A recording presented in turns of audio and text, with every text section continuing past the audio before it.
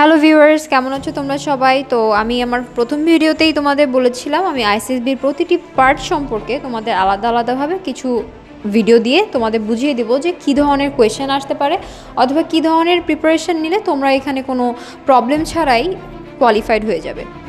আজকে আমার ভিডিওর বিষয় হচ্ছে ভার্বাল আইকিউ প্র্যাকটিস এখানে তোমাদের টোটাল হান্ড্রেড মার্কস থাকবে। তো একশোটা কোয়েশ্চেন নিশ্চয়ই আমার দ্বারা বোঝানো সম্ভব নয়, কারণ তার জন্য আমার অনেক ভিডিও বের করতে হবে। তো আমি তোমাদের সুবিধার জন্য পাঁচ থেকে ছয়টি ভিডিও করে দেখাবো।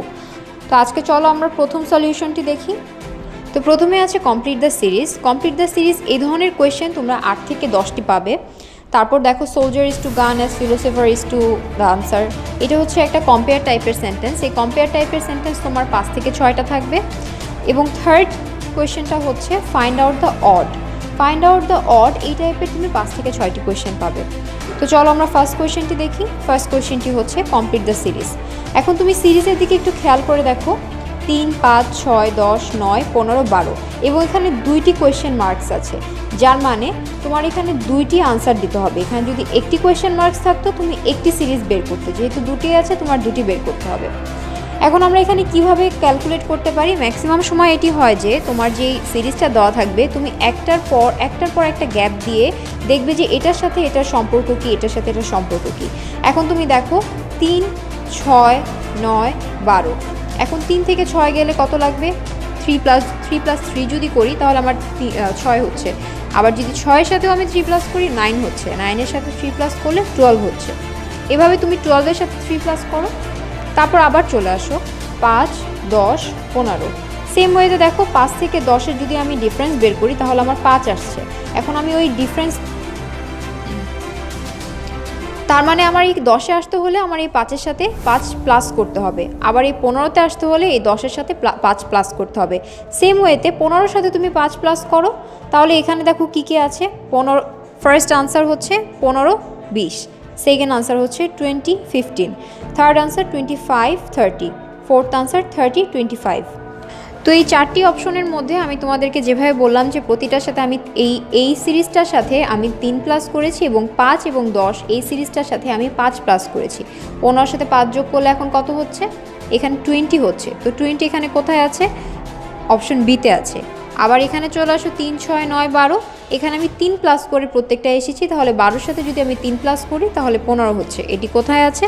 অপশন বিতে আছে। তাহলে আমাদের আনসার হচ্ছে অপশন বি টোয়েন্টি এবং ফিফটিন সেকেন্ড কোয়েশ্চেনটি হচ্ছে soldier is to gun as philosopher is to question what answer অপশনে দেওয়া আছে A picture B scenery C camera D painting তো এখন তোমরা চলে আসো সোলজার ইজ টু গান বলতে কি বোঝাচ্ছ? সোলজারদের হাতে সাধারণত কি থাকে? গান থাকে ফর ফাইট ফিলোসফারদের কাজ আমরা এখানে কি বলতে পারি? ফিলোসফাররা যেহেতু দার্শনিক, আর আমার অপশনে যেহেতু আছে পিকচার সিনারি ক্যামেরা এবং পেন্টিং এবং সোলজারের এখানে একটা ইনস্ট্রুমেন্ট দেওয়া আছে, দেখো গান। সোলজারের এখানে যদি আমি অন্য কিছু দিতাম, তাহলে হয়তো আমার এই কম্পারিজেশনে এখানে পিকচার অথবা সিনারি হতে পারতো, যেহেতু এখানে ফিলোসফার আছে। কিন্তু যেহেতু এখানে সোলজারের ইনস্ট্রুমেন্ট দেওয়া হয়েছে অ্যাজ গান, তো ফিলোসফারের ইনস্ট্রুমেন্ট হিসাবে কি তুমি এখানে দেখতে পাচ্ছ? ক্যামেরা। তো এখানে আনসারটি হচ্ছে ক্যামেরা। তিন নম্বর কোয়েশ্চেনটি হচ্ছে ফাইন্ড আউট দ্য অড এখন দেখো এখানে কি আছে? Leaves tree fruit jungle branch এখন আমি এই সিরিজটা দেখলে খেয়াল করতে পারব যে লিভ ট্রি ফ্রুট এই সবগুলোই একটা গাছের অংশ।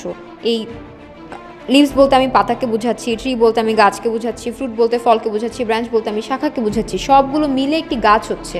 আর এখানে আমি আলাদাভাবে কি দেখতে পাচ্ছি? জাঙ্গল জাঙ্গলটা এখানে হ্যাঁ এটা বলতে পারো যে জাঙ্গলও তো এগুলোর একটা অংশ, কিন্তু এগুলোর অংশ বলতে আমি বোঝাচ্ছি যে সব কিছু মিলে অ্যাকচুয়ালি এই জঙ্গলটা হচ্ছে। কিন্তু তুমি এখানে চিন্তা করে দেখো যে এই বাকি যেই অপশনগুলো তোমার আছে, এগুলো দিয়ে একটা গাছ বোঝাচ্ছে। আর তাছাড়া যদি আমি অড দেখতে যাই এখানে সবকটা সিরিজের মধ্যে, তাহলে আমার এখানে জঙ্গলটাকে বোঝাচ্ছে। তাহলে ফাইন্ড আউট দ্য অর্ডের ক্ষেত্রে তোমার আনসারটি হবে? জঙ্গল। এবার চলে আসি আমরা চার নাম্বার কোয়েশনে যেখানে আছে rearrange the jumble word name of a game তো আমি তোমাদের বলে দিচ্ছি রিয়ারেঞ্জ দ্য জাম্বেল ওয়ার্ড এই টাইপের তোমরা কোয়েশ্চেন আবার এরকম আট থেকে পাঁচ থেকে আটটি পাবে। আর cage is to bird as prison is to এটা কিন্তু আমাদের তিন নম্বর কোয়েশ্চেনে ছিল কম্প্যারিজন এ ধরনের কোয়েশ্চেন তোমরা পাঁচ থেকে ছয়টি পাবে। তো আমরা চার নম্বর কোয়েশ্চেনে চলে আসি রিয়ারেঞ্জ দ্য জাম্বল ওয়ার্ড এখানে একটা ওয়ার্ড দেওয়া আছে, যেটা মানে সাজানো নেই, তোমাকে এটা সাজিয়ে নিতে হবে। এবং পাশের এই কথাটি খেয়াল করো নেম অফ আ গেম তার মানে এইটা দিয়ে তুমি যেই ওয়ার্ডটা বানাচ্ছ, সেটা অবশ্যই একটা গেমসের নাম হতে হবে। তুমি এখন একটু চিন্তা করো এখানে কি হতে পারে গেমসের নামের মধ্যে তুমি হাডুডু যদি ভাবো তাহলে কিন্তু হচ্ছে না, কারণ এখানে এ নেই অথবা এইচ নেই। তো এভাবে তুমি চিন্তা করতে করতে একটু ভাবতে ভাবতে এবং অবশ্যই প্র্যাকটিসের মাধ্যমেই তুমি দেখার সাথে সাথেই বুঝে যাবে যে এখানে কি বোঝাচ্ছে। তো দেখো এখানে কি আছে R U G Y B name of a game তো এখানে আসছে আনসার রাগবি তো এটার আনসার হচ্ছে আমাদের রাগবি আমি আগেই বললাম, তোমাদের আসলে এই ব্যাপারটি প্র্যাকটিস করতে হবে। আমার ভিডিওটি দেখে তোমরা নিজেদের মতো প্র্যাকটিস করতে থাকো। আশা করি প্র্যাকটিস করলেই তোমরা এই কোয়েশনের আনসার দিতে পারবে।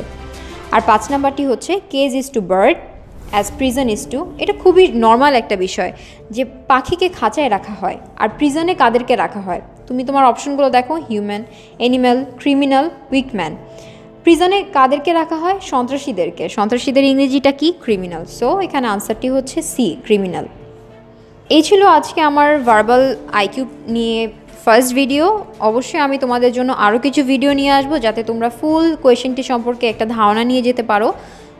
আর এই ধারণা পাওয়ার জন্য অবশ্যই আমার চ্যানেল সাবস্ক্রাইব করতে হবে, কারণ আমি সাবস্ক্রাইবের থ্রুই তোমরা জানতে পারবে যে আমি নতুন কোনো ভিডিও দিয়েছি। আর বেল বাটনটি প্রেস করে দিও যাতে তোমরা নোটিফিকেশন পেয়ে যাও। শেয়ার করে নিও তোমাদের বন্ধুদের সাথে যারাও তোমাদের মতো আগ্রহী ডিফেন্সে আসার জন্য এবং যাদের পরীক্ষা রয়েছে আই মিন যাদের আইসিসবি সামনে রয়েছে তাদেরকে উপকার করো তোমরা এই ভিডিওটি শেয়ার করে।